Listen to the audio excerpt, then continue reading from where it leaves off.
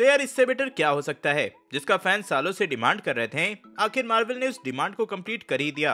और ऊपर से हिडन डिटेल्स की बात करें तीनों ने यहाँ नो वे होम का रेफरेंस भी दिया है। तो हाँ ऐसे हिडन डिटेल्स को मिस नहीं करना चाहते तो वीडियो एंड तक ज़रूर देखना। एंड टेंशन ना लो, इसमें नो वे होम को लेकर कोई भी स्पॉइलर नहीं है। भाई, जब आप वीडियो देख रहे होगे, तभी शायद मैं नो वे होम देखने के लिए निकलूँगा। 9:45 एएम का शो है।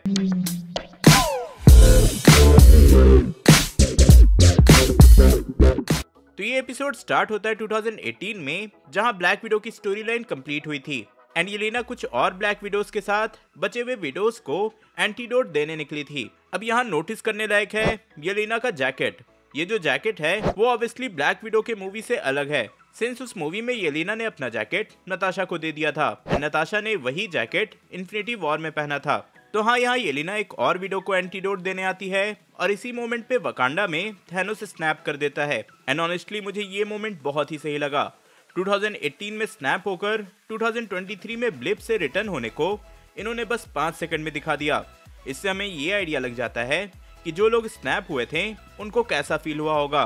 वैसे एंड गेम के बाद से ही मोस्ट ऑफ़ दी एमसीयू के प्रोजेक्ट्स में ब्लिप के मोमेंट्स को दिखाया गया है। यहाँ अगर याद रखने लायक कुछ पॉइंटर्स दूँ तो ये लीना भी स्नैप होकर डस्ट हुई थी एंड उसको नताशा के सैक्रिफाइस के बारे में पता नहीं था। देन ब्लैक विडो के मेन स्टोरी लाइन के बाद का ये पूरा सीक्वेंस था एंड इसी सीक्वेंस में पाँच साल का जंप भी था विच मीन्स कि ये जो पोस्ट क्रेडिट है, वो 2023 के बाद का है। तो हाँ यहाँ से टाइमलाइन थोड़ा क्लियर हो जाता है। वहीं दूसरी तरफ़ केट वापस अपने घर आती है, और इलेनोर से बात करती है। बेसिकली जो कुछ भी पिछले एपिसोड में हुआ था, जहाँ क्लिंट ने उसे अपने से दूर रहने को बोला था, उससे वो अपसेट है। वैसे क्लिंट एंड केट साथ में नहीं है for the start of the episode ये दिखाने के लिए उन्होंने हॉकाई के लोगों में माइनर चेंजेस किए हैं। जहाँ पहले हर बार दो एरो हॉकाई के लोगों में एक को हिट करते थे, इस बार ऐसा नहीं हुआ। और हाँ यहाँ अगर आप उसके रूम में नोटिस करोगे तो यहाँ हॉकाई का पोस्टर भी देख सकते हो विच अगेन कन्फर्म्स कि वो हॉकाई की कितनी बड़ी फ़ैन है। देन ये वाले शॉट में जहाँ माया और काजी बात कर रहे होते हैं, यहाँ हम काजी के हाथ में एक स्कल का टैटू भी देख सकते हैं। सेम इसी पोजीशन पे क्लिंट के हाथ में भी टैटू था डिफरेंट टैटू था, लेकिन सेम जगह पे स्कल बना था। तो हाँ इसका ये मतलब नहीं है कि दोनों किसी वे में रिलेटेड है या दोनों एक साथ काम करते हैं। बस ये एक इंटरेस्टिंग चीज़ मैंने नोटिस की तो सोचा बता दूँ। एक ऐसा ही और इंटरेस्टिंग चीज़, शायद सबने नोटिस किया होगा, जब येलिना एंड केट बात कर रहे होते हैं, जिसका डायरेक्ट कनेक्शन होता है नो वे होम से। बेसिकली इस पूरे सीक्वेंस में ये लीना क्लियर कर देती है कि केट से उसकी कोई दुश्मनी नहीं है। वो बस क्लिंट को मारना चाहती है। ऑब्वियसली उसको लगता है कि हॉकाई की वजह से ही नताशा ज़िंदा नहीं है। यहाँ ये भी क्लियर होता है कि येलिना हॉकाई को अपने पर्सनल वेंजेंस के लिए तो मारना चाहती ही है। बट साथ ही उसे किसी ने हायर भी किया है, जिस पे मैं थोड़ी देर में आता हूँ। लेकिन यही बातों बातों में येलिना बोलती है कि वो फ़र्स्ट टाइम न्यूयॉर्क आई है और वो new and improved statue of liberty देखना चाहती है। और ये जो new and improved statue of liberty है, वो हमने स्पाइडरमैन नो वे होम के ट्रेलर में देखा था, जहाँ इसमें मशाल को हटाकर कैप्टन अमेरिका की शील्ड लगाई गई है। तो हाँ जिस स्टैचू ऑफ़ लिबर्टी को यहाँ मेंशन किया गया है, उसका अपीयरेंस नो वे होम में होगा। दूसरी ओर हम देखते हैं कि सिंस क्लिंट केट को सेफ़ रखने के लिए उसको अपने साथ इन्वॉल्व नहीं रखना चाहता तो वो ग्रिल्स के अपार्टमेंट में चला जाता है। ग्रिल्स आपको याद ही होगा लार्पर्स वाले सीन से, वैसे फन फैक्ट कॉमिक्स में ग्रिल्स को काजी ने मार दिया था। तुम्हें भी वैसा कुछ हमें इस सीरीज़ में भी मिले। कोलेट्रल डैमेज वैसे ग्रिल्स यहाँ केट एंड क्लिंट के न्यू कॉस्ट्यूम को भी मेंशन करता है, जो कि मे बी हमें लास्ट एपिसोड में देखने को मिले। और मे बी ये कॉस्ट्यूम कॉमिक्स एक्यूरेट हो, जो कि आज तक हॉकाई के केस में हमें देखने को नहीं मिला। ओरिजिनल सिक्स अवेंजर्स में यही ऐसा कैरेक्टर है, जो कि अपने कॉमिक्स के काउंटर पार्ट से बहुत ज़्यादा अलग है। देर एक शॉट में ये भी दिखाया जाता है कि जैक को पुलिस अरेस्ट कर रही है स्लोन लिमिटेड से मनी लॉन्ड्रिंग के केस में। एंड जैसा मैं फ़र्स्ट एपिसोड से बोल रहा हूँ कि जेक खाली दिखने में एविल है, उसे यहाँ फंसाया जा रहा है एंड ऑब्वियसली इन सब के पीछे एलेनोर का हाथ है फिर ये वाला शॉट मुझे बहुत ही ज़्यादा सही लगा। यहाँ पे न्यूयॉर्क बैटल के लिए ओरिजिनल सिक्स अवेंजर्स को ट्रिब्यूट दिया गया है। और हाँ ये वही लोकेशन है जहाँ आपने ये सीक्वेंस देखा था। यहाँ भी सैडली क्लिंट का नाम सबसे नीचे है। देन ये जो शॉट है, वो अगेन नो वे होम से कनेक्ट हो जाता है। आप यहाँ हॉकाई को तो देख ही सकते हो। ऑब्वियसली केट उसको अपना रोल मॉडल मानती है तो उसके रूम में हर जगह हॉकाई के फ़ोटोज़ हैं ही। लेकिन ध्यान देने वाली बात है, ये फॉक्स इस फॉक्स का ड्राइंग यहाँ तो है, लेकिन साथ ही ऐसा ही फॉक्स नो वे होम के ट्रेलर में भी दिखा था। आपने डॉक्टर स्ट्रेंज के हाथ में कॉफ़ी मग पर इस फॉक्स को देखा होगा। अब हर जगह फॉक्स को दिखाने का क्या कनेक्शन है? गेस कर पाना मुश्किल है। लेकिन अगर हम लोग थोड़ा ओवर थिंकिंग करें तो हो सकता है कि ये बस रिप्रेजेंट करता हो कि डिज्नी ने फॉक्स को खरीद लिया है।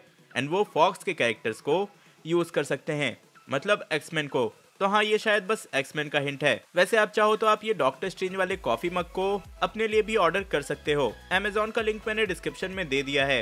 वैसे इस पूरे सीक्वेंस में यही दिखाया गया है कि केट फिर से क्लिंट की हेल्प करने के लिए मोटिवेट हो जाती है और उससे बात करने की कोशिश करती है। वहीं दूसरी तरफ़ क्लिंट ट्रैक सूट माफिया को मैसेज देता है कि वो माया से मिलना चाहता है, लेकिन अकेले। वहीं जहाँ रोनिन ने उसके पिता को मारा था अब ये जो पूरा सीक्वेंस है, वो बहुत ही ज़्यादा इंटरेस्टिंग है। सबसे पहले तो हमें इस कार डीलरशिप का नाम दिखता है, जो कि है फैटमैन ऑटो सेल्स एंड हम लोग सब जानते हैं कि फैटमैन कौन है। देन यहाँ क्लिंट माया को रिवील करता है कि वही रोनिन है, और उस रात किसी ने उसे टिप दिया था। जिसने भी उसे टिप किया था, वो माया के बॉस के लिए काम करता है। And his boss wanted his father dead Maya को शक तो होता है, लेकिन फिर भी वो क्लिंट को मारने की कोशिश करती है। बट समहाउ केट उसको बचा लेती है और दोनों वहाँ से निकल जाते हैं। अब डिटेल में इस पूरे सीक्वेंस पे आए तो सबसे पहले ऑब्वियसली माया का बॉस उसका अंकल है और वो कोई और नहीं, बल्कि किंग पिन है। और यहाँ से अगर हम लोग कॉमिक्स के पन्नों को पलटे तो पता चलता है कि वहाँ भी माया लोपेस के फादर को किंग पिन ने ही मरवाया था एंड ब्लेम डेयर डेविल पे डाल दिया था। एंड जब उसे ये बात का पता चला था तो वो किंग पिन के अगेंस्ट हो गई थी। तो हाँ वही सेम स्टोरी लाइन यहाँ देखने को मिल रहा है। इसके बारे में डिटेल में मैंने पिछले ब्रेकडाउन में भी बात की थी। तो हाँ इस सीक्वेंस के बाद माया को शक तो हो गया। इवन काजी पे भी। ऐसा लग रहा है कि किंगपिन ने काजी को बोला था टिप देने को, जिससे कि रोनिन वहाँ पहुँचा एंड सबको मारा। तो हाँ काजी भी इन्वॉल्व है। एंड यही से मुझे लगता है कि गोइंग फॉरवर्ड माया लोपेस खुद रोनिन का टाइटल लेगी। अभी नहीं तो आने वाले अपने इको की सीरीज़ में।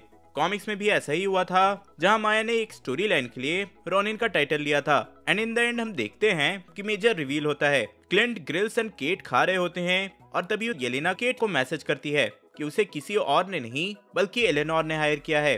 और फिर मिलता हमें मनी शॉट जो कि नो वे होम के लीक ट्रेलर के जैसा था। हम यहाँ देखते हैं डेयर डेविल के किंग पिन का रिटर्न लास्ट हमने इस कैरेक्टर को नेटफ्लिक्स के डेयर डेविल के सीरीज़ में देखा था।